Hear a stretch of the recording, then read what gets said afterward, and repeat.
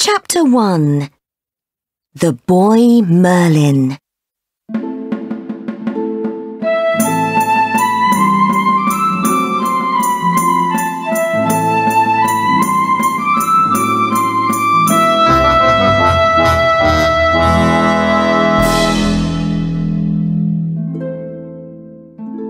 Young Merlin lives in a castle with his mother, Princess Adan. The castle is in Wales, in the west of King Vortigern's kingdom. Merlin doesn't know his father. He's fighting for the king far away. The castle is near a forest. Merlin and his mother often walk there. She teaches him about forest plants. When you're older, you can come here without me, She says, but be careful. There are many hunters, and an enchantress, Ceridwen, lives here too. Merlin's only friend is a toad. One day, Merlin visits the village near the castle. Two boys, Morfran and Arwell, are behind him. But Merlin doesn't see them. He talks to his toad. Merlin's talking to his toad. Morfran laughs. Go away! Merlin says, Or when my father comes back home, we're not afraid, Merlin. Your father's never at home. Arwell says, And is he truly your father? Perhaps you're a demon's child. That night, Merlin tells his mother everything. What can I do about these boys? He asks,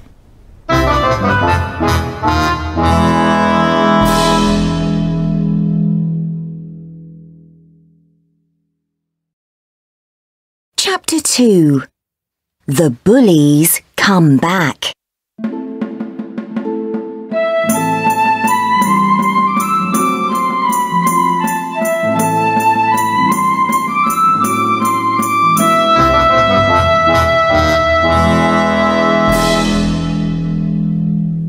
Can talk to those bullies. Princess Adan says.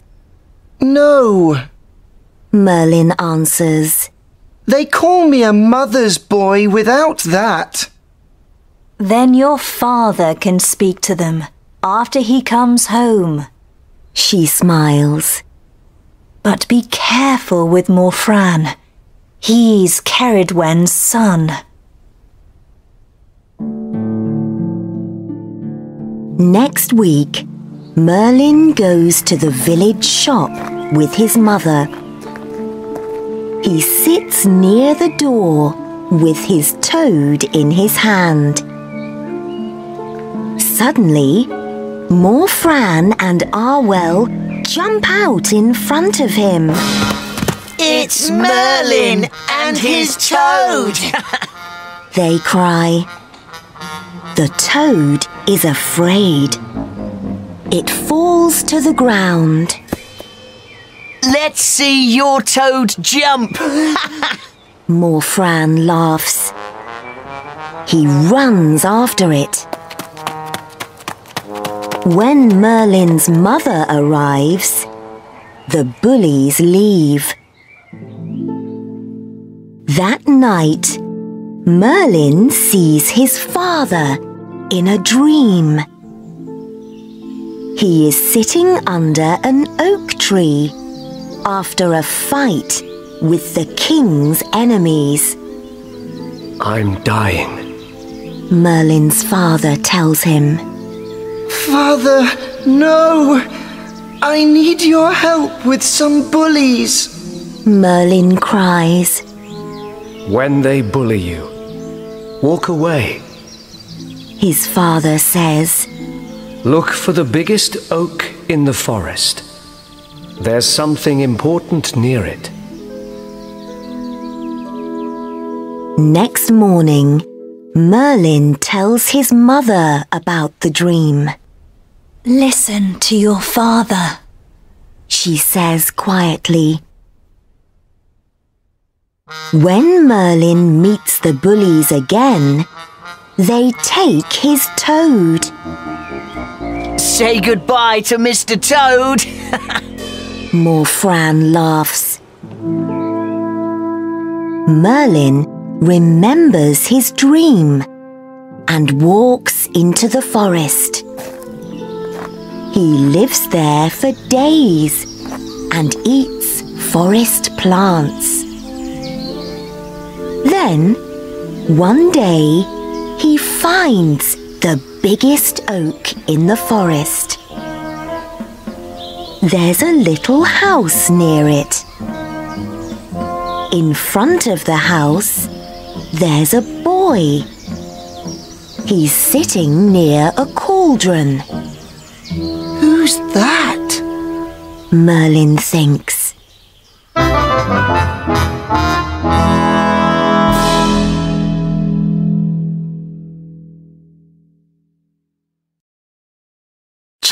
3 Ceridwen's Magic Potion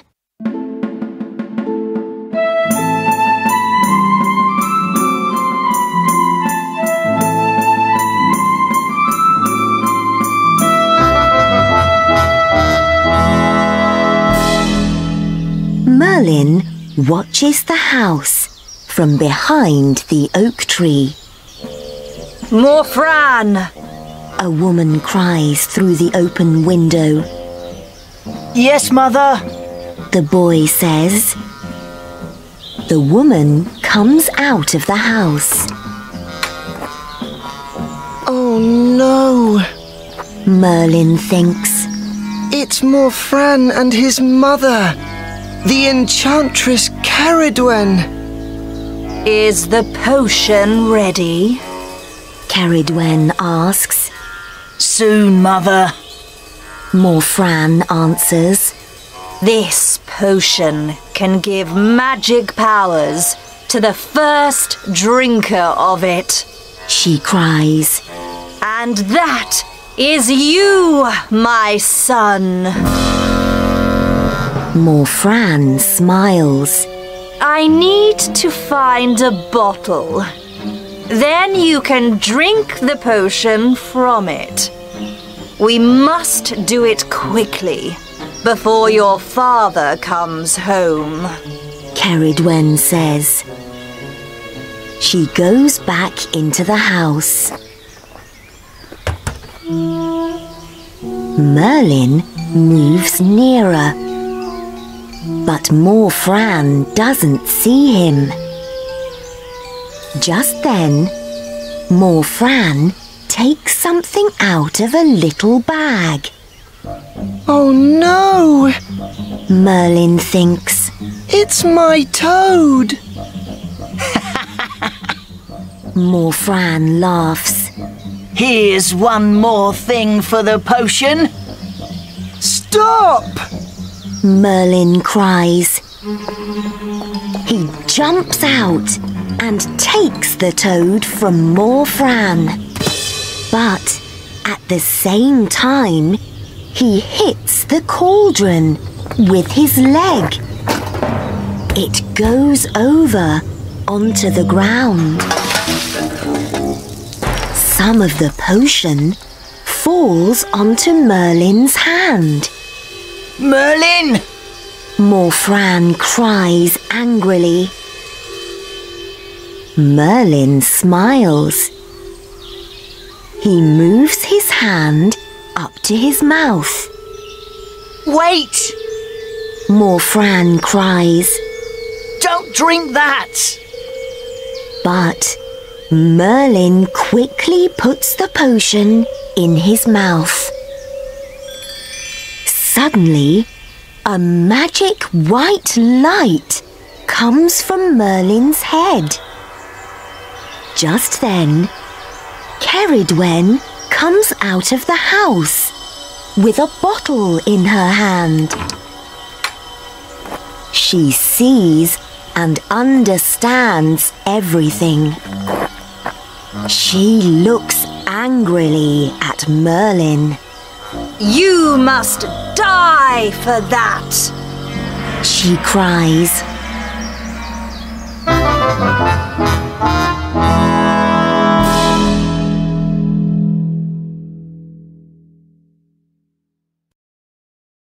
Chapter 4 Merlin runs away.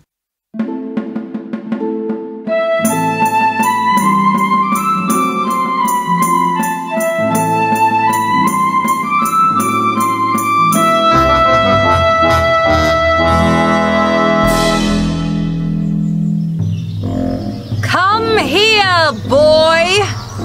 The enchantress cries. I need to run. Merlin thinks. In his head, he sees a hare. Then, suddenly, he is a hare. Aha! He thinks. So now I can change into different animals. Merlin runs away into the forest. I can easily run faster than Ceridwen now. he thinks. But when he looks behind him, he sees a big dog. It is running after him, and its angry mouth is open. Oh no! He thinks, Ceridwen can change into different animals too. Merlin moves quickly through the trees. But he can hear Ceridwen behind him. She is coming nearer. Just then, he arrives at a lake. I need to be a fish. He thinks. Suddenly, he's a long, dark fish. He moves fast through the cold water of the lake. I'm all right now. he thinks. But when he looks back, an otter is coming through the water behind him. Ceridwen's an otter now. he thinks. So he changes into a little bird and goes far up into the sky. But soon he hears an angry cry behind him. Now a big eagle is coming after him. Ceridwen again. Merlin thinks. He moves here and there in the sky. But he can't lose the eagle. Just then, Merlin sees a hunter far down in the forest. And there's a sudden noise. Whoosh! An arrow hits Ceridwen. She falls to the ground near her house. Morfran runs to her dead body. Merlin, you demon! He cries angrily. One day, you must die for this!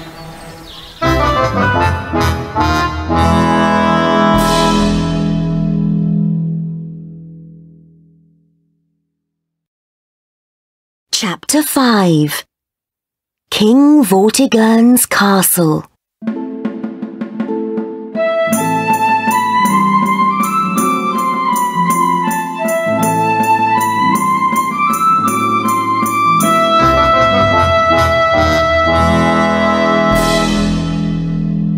After some years, Princess Adan, Merlin's mother, moves away to a convent.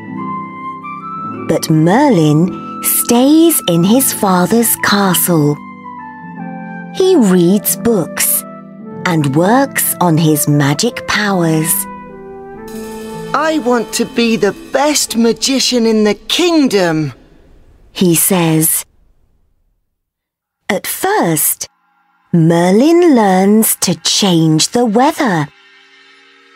Next, he learns to see through walls.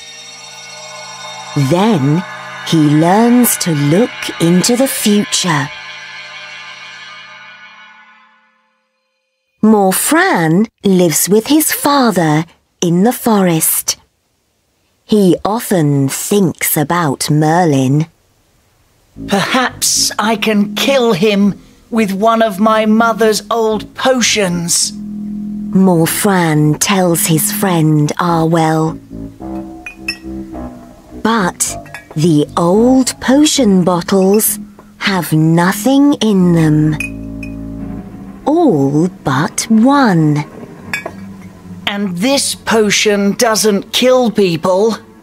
Morfran says. It makes ill people well again. So give it to somebody important. Ah, Arwell answers. And pretend to be a magician. Soon after that, King Vortigern visits Wales after years of fighting. He has a new wife, Ronwen but she is ill. Morfran hears about this. He goes to the king's men with the magic potion. Ronwen is well again after she drinks it. So Vortigern calls for Morfran. You can be my magician, the king says. Ronwen is happy in Wales. She wants to stay there. Let's make a castle on this hill, she tells Vortigern. Vortigern begins the new castle.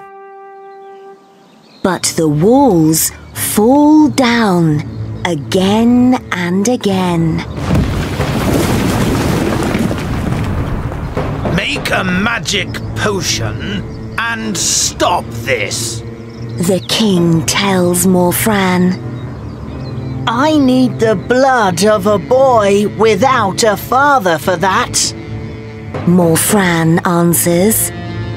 Now, the son of a demon lives near here. Give me some men, and I can bring him to you.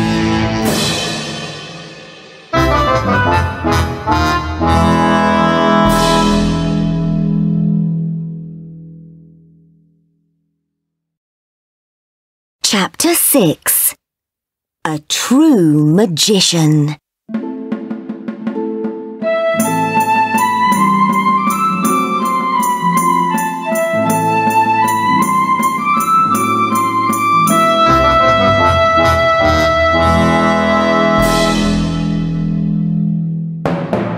Vortigern's men bring Merlin to the hill. Here's the demon's son. Morfran tells Vortigern. Kill him. I can make a potion with his blood and put it on the ground. Then you can finish your castle. Morfran's my enemy, and he's wrong. Merlin cries. There are two dragons under the hill. I can see them through the ground. Dragons? Vortigern asks. Yes, Merlin cries. a red dragon and a white dragon. When they fight, the walls fall down. The dragons hear Merlin's cries and they come up angrily through the ground. They are fighting and breathing fire and smoke. I can stop them! Morfran says. He pretends to do some magic. But he is not a true magician. The dragons fire on Morfran and kill him. Ah! Merlin quickly changes the weather. Suddenly, there's a wall of rain in front of the dragons.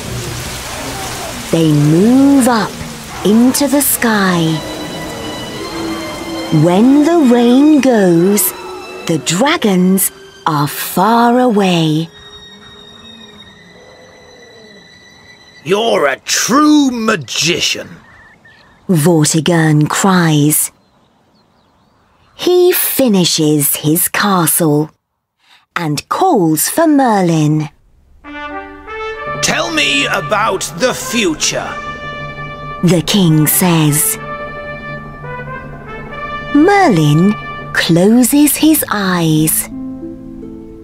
You, Vortigern, die without any children. He answers. Dark years of fighting come after that. Then I see a sword with magic light in it. A king with a wonderful castle and his beautiful wife. I'm that king's magician. Be my magician. Vortigern cries. No, Merlin answers. I must work more on my magic.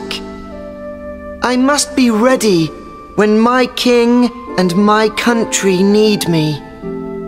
Then Merlin changes into a hare and runs away into the forest.